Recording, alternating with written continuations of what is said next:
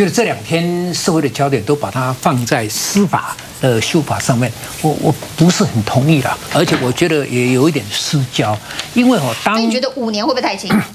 把这看个案哦，因为这些都不是故意让他致死，或是谋杀，或是这个也是是连续犯最后才死，或者是一下子就。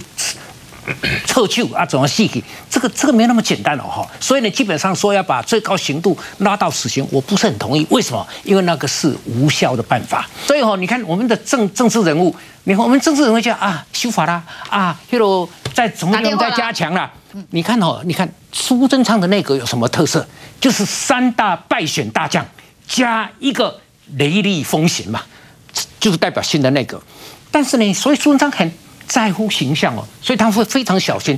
但是呢，再怎么小心，他也犯错了吧？因为他讲这个强调骂完不加乱不香的，他应该这么讲？不是骂完加香别塞讲哦，你的讲法应该是说加险写的修书了哦，有险加不险，这样那小的代志，会当造成一个虐童案这样那严重的代志，这样这样讲就通了，你知道吗？你不要嬉皮笑脸说啊，我始终没得假香咩，所以我别怕人哦，哎这个。我要讲哦，政体你不是爱休息嘛？将来我们政市委也要当立委了。我要讲哦，我想你刚刚哦讲的话，不不管那小编可能觉得这样子很幽默。无足轻重都哎，现在我们每一件事情都都怪小编吗？啊，小编写的事情，那个老板没有稍微过目一下吗？那我们变成这个是这个国家更严重。那这个这小编治国啊，这小编治国比虐童更严重了，对不对？好像小编讲一句话，第二天你看那电子电子报。啊，都说宰神讲什么哦，还是讲什么黄创夏讲什么啊？我我刚刚你做高的呢，啊，你做伟大的呢，啊，现在小编要比宰神更伟大了，这个什么世界嘛，这个什么国家嘛？哦，所以呢，我们一定要想，为什么十五岁的小孩他就轻易的怀孕了孕，而且他生了这个时候生了小孩，他每天看那个小孩，他有没有母爱？我认为他有母爱，但是呢，他每天看那个小孩，你就是阻碍我每天。恢恢复正常生活一个最大的障碍嘛，你这个死因呢哈，就是可怜老母哈，你自己贵了被困我嘛，所以再大的母爱也被这个掩掩盖过了，也被这个掩盖过，所以你像哦，这个需要什么？这个要非常强力的、非常强度的去辅导这些小妈妈，这些甚至他们的元凶小爸爸。都要强力去辅导，而不是说社工要几个啦，要访视要几天啦，要填表啦，哦，钱够不够啦？哦，所以，我我们这个问题哈，严重到说什么？我们要选总统人也好，要选立法委员的也好，你不能说啊，我的那个那个老老人政策是什么啦？这个托幼政策是什么？这个是无血无泪、没有温度的政策。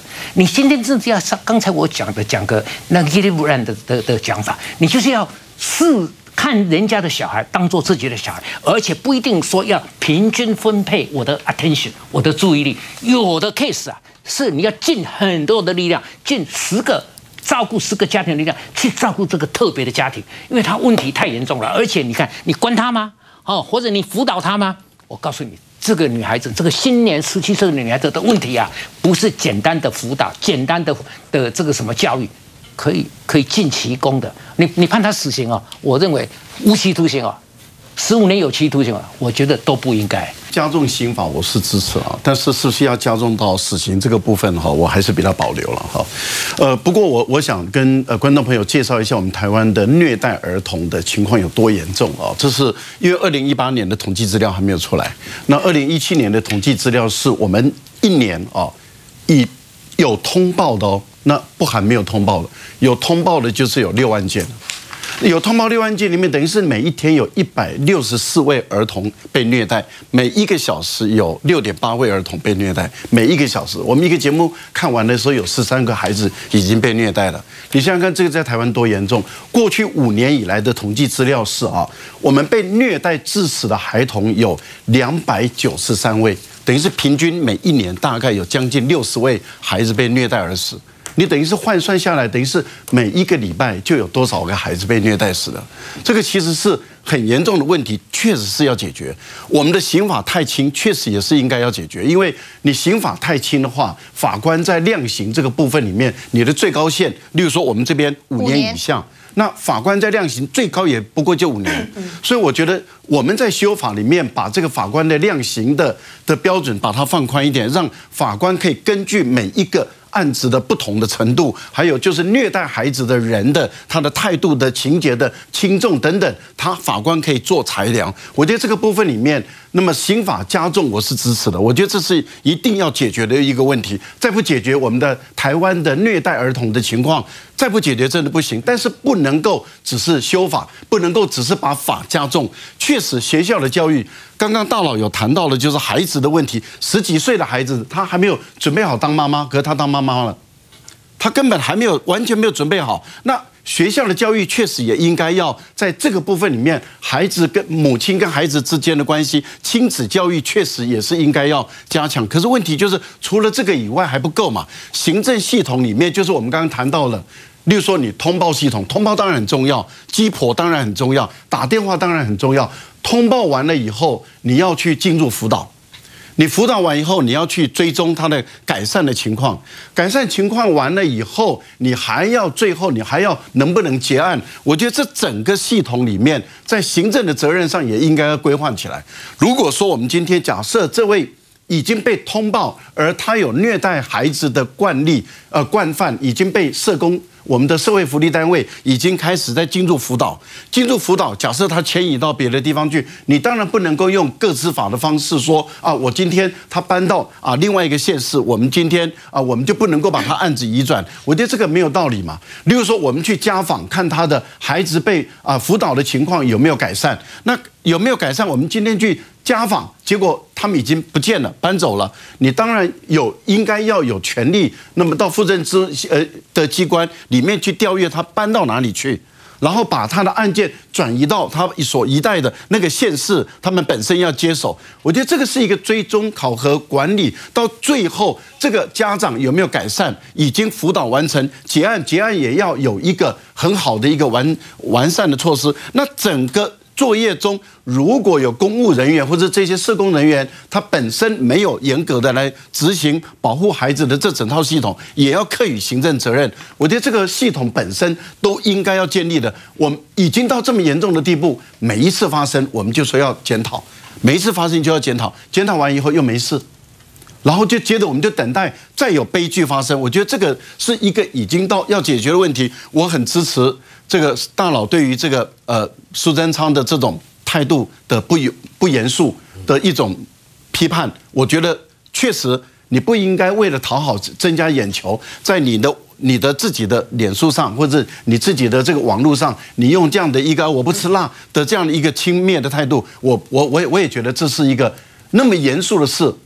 不应该用这种轻佻的态度跟语言来面对一个严肃的问题。我请教一个问题，你刚才说每年因为被虐而致死的小孩两百多个，呃，没有，五年，五年，五年有两百九十三位，是要情节很严重的才死刑吗？还是要看情节的轻重？我的看法是这样，没有，其实我我不我我我。我跟你讲，如果是情节重的话，他不是法官，他没办法做这个个案的判断。不不不不，这不是啊他当然不晓得。我现在要你还没听我讲。没有，我我我先强调，我我是反对的话，你跟那个被害人是大人没有什么两样嘛。那如果是因为他受害人是小孩，所以要加重其刑，就要。把它提高那个刑度的话，我们现在的故意杀害罪本来就有死刑嘛？对对，那那这样的话哈，只是说小孩不适用，我们现在只是让小孩适用。小孩因为他是他是没有反抗能力的，所以要加重其刑。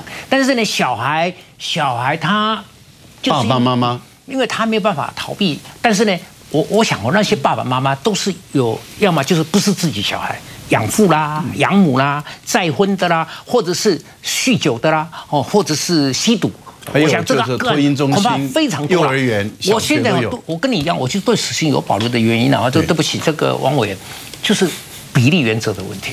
这样的话，我们每年因为这个法条如果通过的话，啊，如果照着这样做的话，我每年死刑犯的数目要增加多少？而且又不执行。那我觉得会变在国际社会上会变成一个笑话。大佬刚刚的说法有点画等号画太快了，在我的法条里面不是唯一死刑，对，不是唯一死刑哦。所以我刚刚已经讲了，有些网友很愤慨，就说唯一死刑，台湾已经没有唯一死刑这件事情，即使是杀人罪，我们都已经取消唯一死刑。所以其实法令未来定的，像我的版本里面，我在二八六还有另外一个特别讲的，就是你已经致人于死。就是你可以处死刑、无期徒刑或十年以上有期徒刑，所以这就是法官他量刑的范围。我今天在讲的只是说，是现有法律不是我未来要修的，现有没有这个法，所以你。把一个人凌虐致死之后，他必须从十年以上的有期徒刑到无期徒刑到死刑，这个是法官他裁量的范围，不是各位想象的。今天把孩子虐待致死，不分任何的情节状况，然后就判唯一死刑，不是这样子的。台湾的法制也不允许现在是这样的情况。